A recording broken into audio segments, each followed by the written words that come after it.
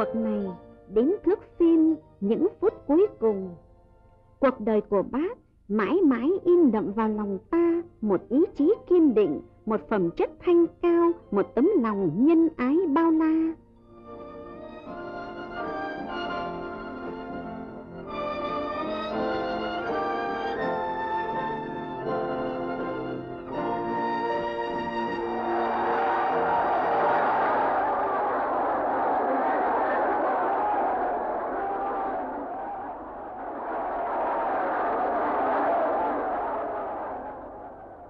Năm 1954, chúng ta đã giành lại được một nửa Giang Sơn sau cuộc kháng chiến lâu dài. Ngôi nhà này bây giờ là của nhân dân. Bác Hồ đã từng nói như vậy và dùng làm nơi hội họp tiếp khách. Còn bác đến ở ngôi nhà phía trong, nơi ấy vốn là chỗ ở của người phục vụ viên toàn quyền Đông Dương thời trước.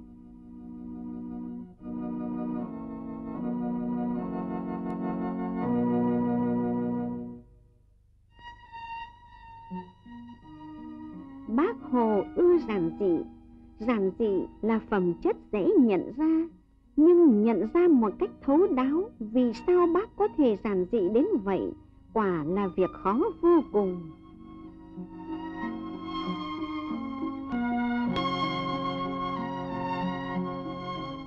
Như hương cây hương lá làng sen phẳng phất, ta gặp bóng dáng gác xếp ngõ công quanh, cái lán nàn lừa nhà sàn trên nứa giữa rừng Việt Bắc. Cái nhà sàn ở lẫn trong hoa, vẫn không ngớt lắng chiều nghe nhịp bể.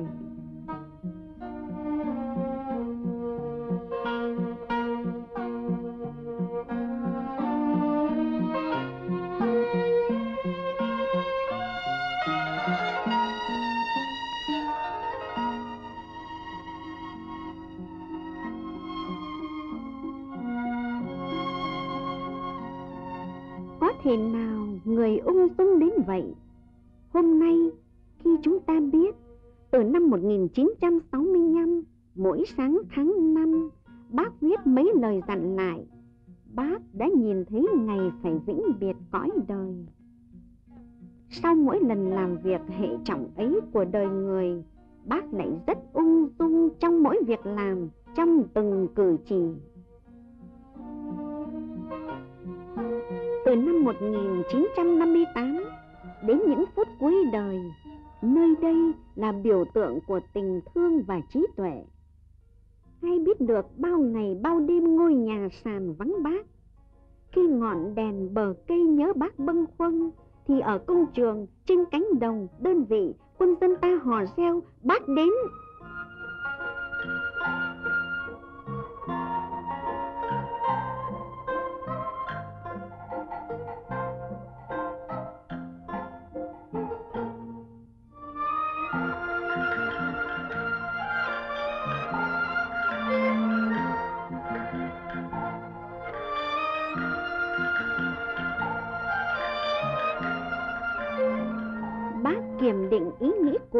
trong dân, để những ý nghĩ đó vụt lớn thành trí tuệ của toàn dân tộc trong từng quyết định.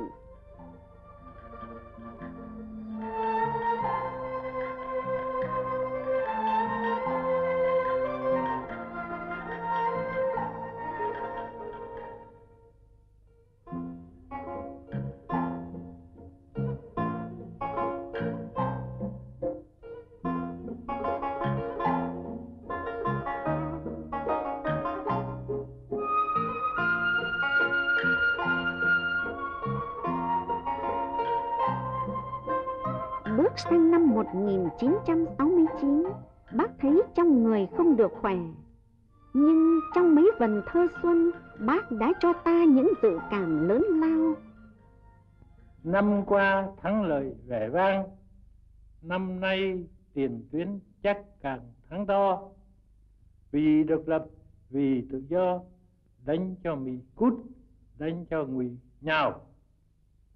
Tiến lên, tiến sĩ đồng bào Bắc Nam sum hợp, xuân nào vui hơn.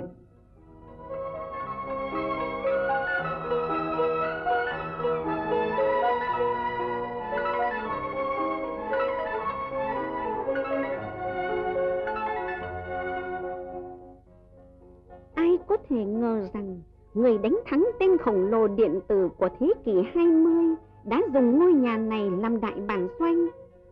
Chẳng có gì nhiều hơn so với nhà trực chiến một quân chủng, một binh đoàn.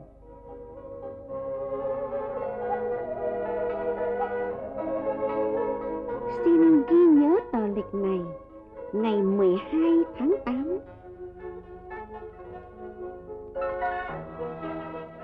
Xin ghi nhớ đoạn đường ven hồ Tây này. Hôm ấy, hay tin phái đoàn ta từ cuộc đàm phán Paris về, bác chủ động đến thăm và làm việc. Hà Nội vào thu, trời trở lạnh. Giá như đã có lúc chúng ta chạy nghĩ, giá như bởi sau chuyến đi này bác ốm. Trong tuần lễ cuối cùng ở nhà sàn, trong từng cơn đau, bác vẫn quên mình và nâng niu tất cả. Việc đào tạo con người là vấn đề chiến lược. Bác bảo ta phải làm thường xuyên và phong trào người tốt việc tốt chính là một biện pháp quan trọng của chiến lược con người đó.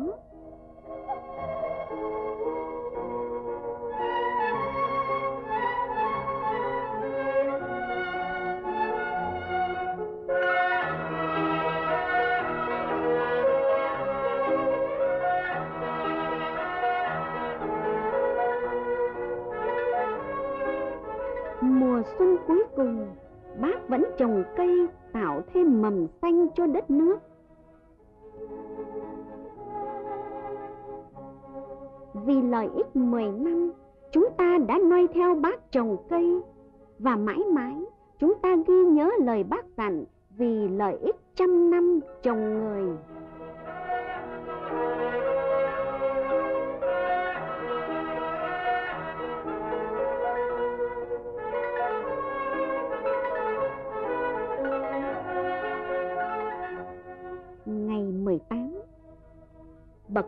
Của nhà sàn thân yêu Lần cuối cùng nhận được hơi ấm cuối cùng của bàn chân bác Hồ.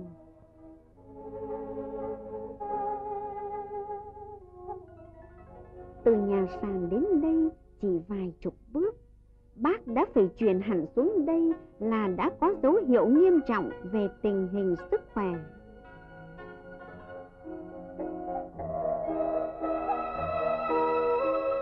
Tuy thế, vẫn chưa ngừng làm việc. Bác vẫn suy nghĩ chăm lo đến cuộc sống của nhân dân.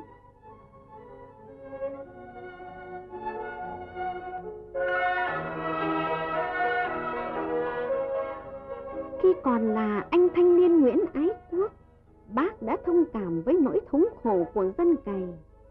Và khi đã là lãnh tụ của nhân dân, bác xóa bỏ mọi nghi thức dườm rà cách biệt.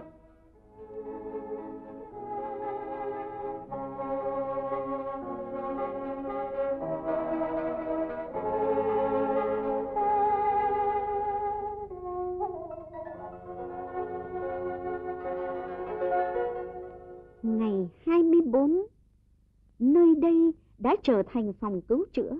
Dẫu vậy, khi tỉnh lại, bác vẫn muốn được nghe nhịp sống ở bên ngoài.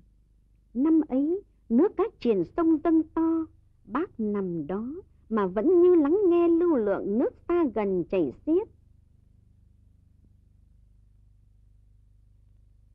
Nếu không vì ốm đau, thì bác đã đến tận nơi sung yếu như những mùa trước đó Sợ cơn lũ có đột biến bất thường, các đồng chí gần gũi ngỏ ý đưa bác đến nơi an toàn. Bác nói, tôi không thể xa dân. Bác chỉ yên lòng khi việc phân lũ cứu dân đã được làm khẩn trương chu đáo.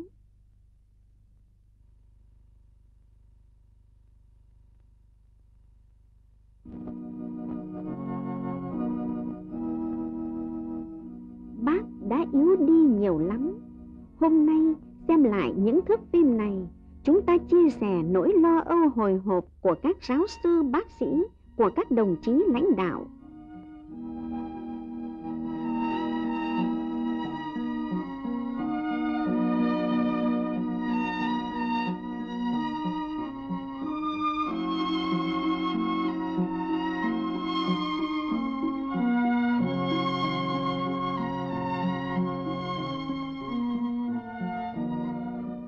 Mỗi lần tỉnh lại, bác hỏi, hôm nay miền Nam đánh thắng đâu? Ôi, phải chi lịch sử bước được nhanh hơn để ta dâng lên bác thắng lợi trọn vẹn sau cùng.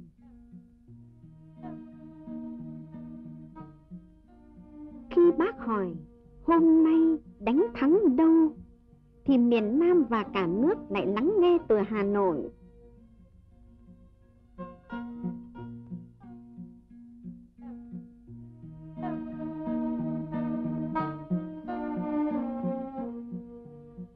nước đang sắp tới thực hiện cho bằng được lời chúc đánh cho Mỹ cút, đánh cho ngụy nhào. Thì ở đây vì quy luật ngặt ngào của sự sống, bác của chúng ta sắp phải dừng chân. Và dù cho bước chân của bác có dừng, nhưng ý chí tiến công của người vẫn trong tâm trí toàn dân tộc. Không ai nghĩ rằng trong những ngày cuối cùng, bác đọc cuốn Sự thật ở Việt Nam gồm những điều trần ở Thượng viện Hoa Kỳ. Chắc chắn có một sự thật không kịp điều trần, đó là nhân dân Việt Nam biến đau thương thành sức mạnh, quyết giành thắng lợi cuối cùng. Miền Nam trong tim tôi, miền Nam luôn gần kề với bác, nhưng miền Nam cũng xa cách nghìn trùng miền Nam đầu mũi Cà Mau và miền Nam ngoài Trường Sa Phú Quốc.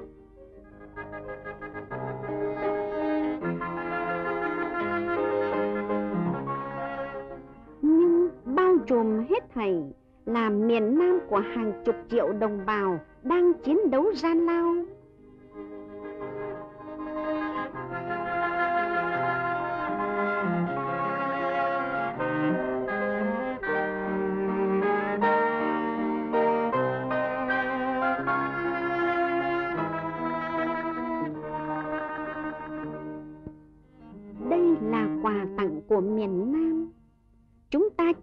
xuất xứ của cây là ở vùng nào, nhưng trong vườn bác, cây vú sữa này là miền Nam từ sông Bến Hải đến mũi Cà Mau.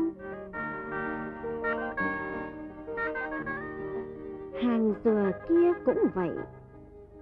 Trong cơn đau, bác chỉ nhấp được vài giọt nước dừa hái ở cây này. Bác tỏ ý bằng lòng và nói của miền Nam.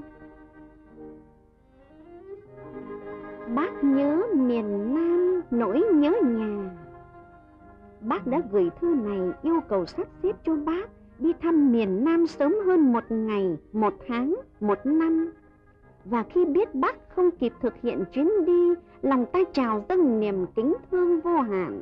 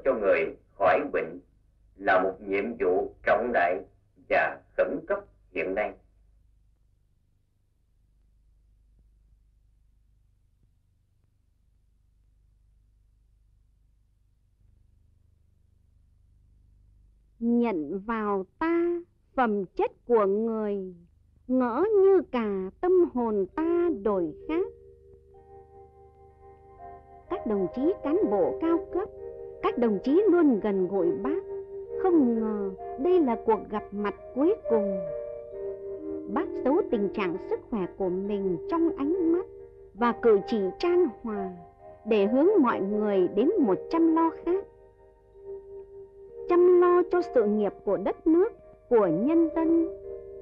chăm lo cho phẩm chất mỗi người xứng với lòng dân tin cậy.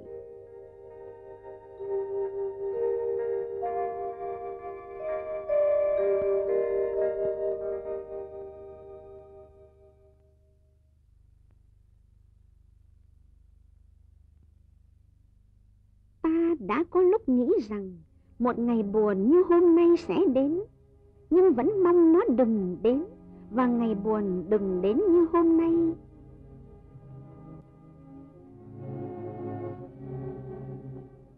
Đây tiếng khóc những anh hùng bất khuất, những chiến sĩ nghìn ngày đuổi giặc, từng dẫm nát trăm trại giam, trăm bãi chiến trường.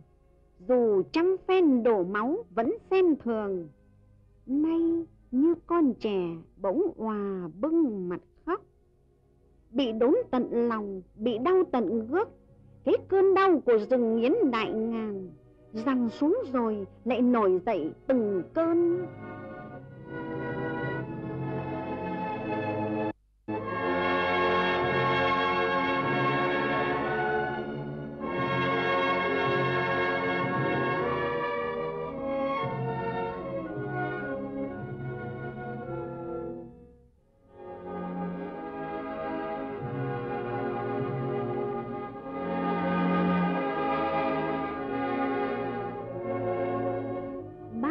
ra đi, nhưng bác để lại muôn vàn tình thân yêu cho đồng bào, đồng chí, cho cháu con và bạn bè thế giới. Bác đã kề vai sát cánh với bạn nghèo năm châu để chọn một hướng nhìn về tổ quốc. Bác còn dạy ta nhìn ra thế giới bằng tình cảm, bốn phương vô sản đều là anh em. Một đời thủy chung như thế, nên bác đau lòng trước mỗi việc bất hòa. Giờ vĩnh biệt, bác gửi bạn bè lời kêu gọi thiết tha phải đoàn kết lại.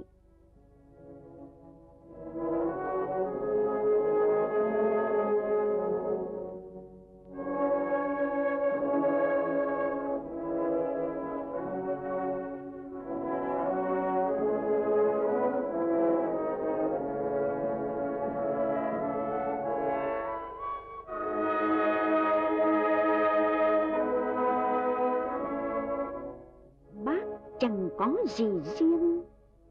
Nhưng giàu có đến muôn vàn. Đó là tình thân yêu bác để lại cho toàn dân, toàn đảng, cho toàn thể bộ đội, cho các cháu thanh niên và nhi đồng.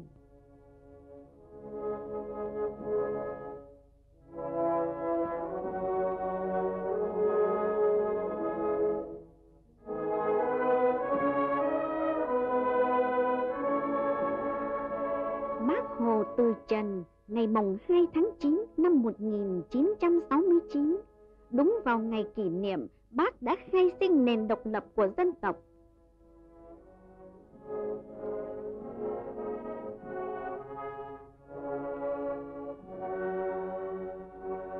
Chúng ta và trước hết là nhân dân Hà Nội quen ngước nhìn lên chỗ bác đứng trên lễ đài.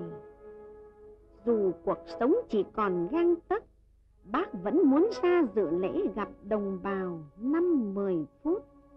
Nhưng quốc khánh năm này ta vắng bác.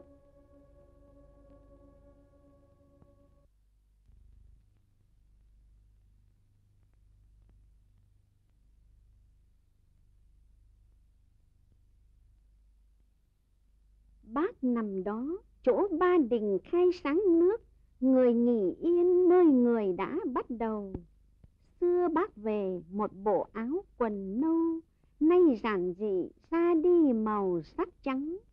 Ngọn suối của một đời trong sáng, nay kết tinh thành khối thủy tinh trong.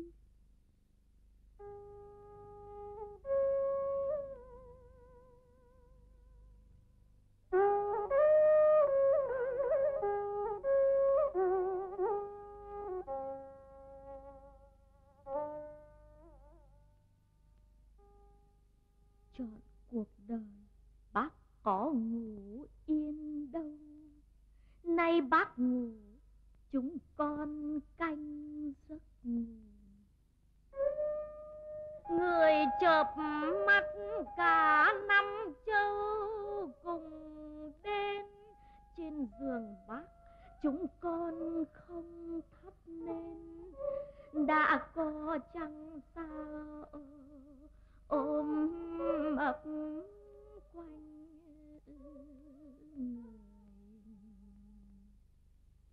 bác yêu chăng như yêu một con người. Trong thơ bác trăng với hoa là vàng. Giao thừa tới từ nay đâu tiếng bác chúc đồng bào chiến sĩ dòng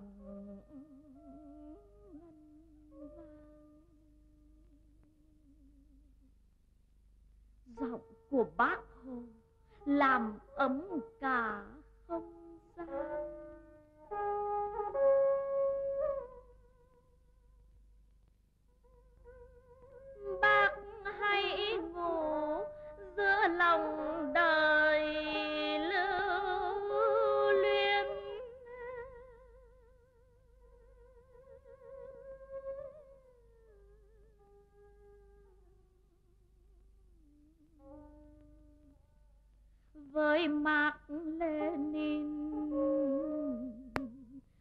Giấc ngủ.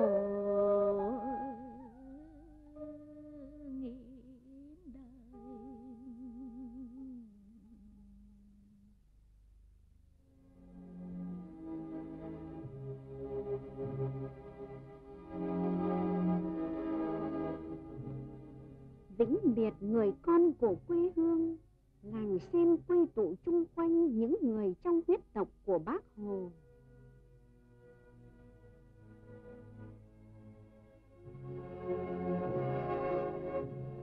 Vĩnh biệt bác hồ, nhân dân vùng bác bó đến nghiêng mình bên suối lenin.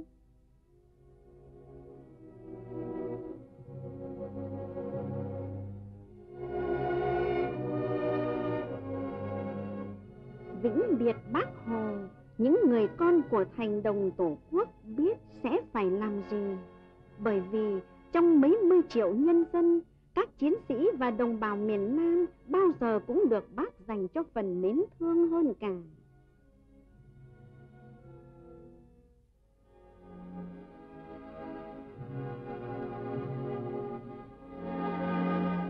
Hồi chuông nguyện, tiếng kinh cầu khác nhau, nhưng lòng tiếc thương bác hồ trong mọi tầng lớp nhân dân ta là một.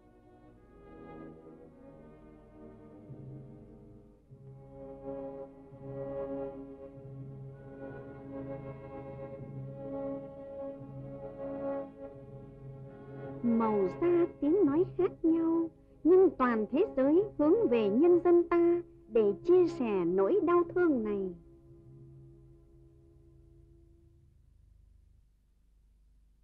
cuộc chống Mỹ cứu nước của nhân dân ta dù phải kinh qua gian khổ, hy sinh nhiều hơn nữa, song nhất định thắng lợi hoàn toàn. Đó là một điều chắc chắn. Tôi có ý định đến ngày đó, tôi sẽ đi khắp hai miền Nam Bắc để chúc mừng đồng bào, cán bộ và chiến sĩ anh hùng, thăm hỏi các cụ phụ lão, các cháu thanh niên và nhi đầu tiêu quý của chúng ta.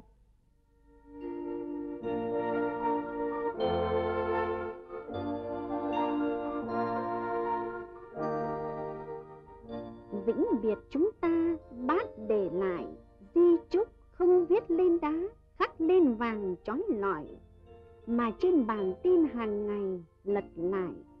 Sau bản tin một hôm, người ký thác chuyện muôn đời. Bác chẳng để cho ta nghìn quyển sách, thay cho những trang giấy bác để tấm lòng.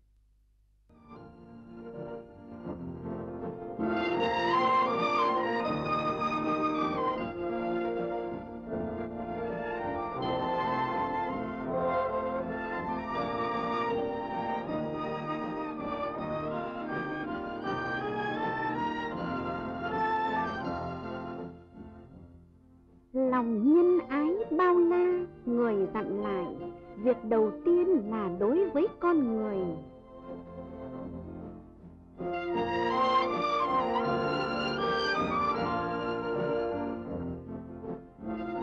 Người dặn lại, cái xưa cũ rụng dần, cái tốt tươi vươn mãi, phải biết trồng gieo cho mùa gặt hái, vì con người mà gắng sức chăm lo.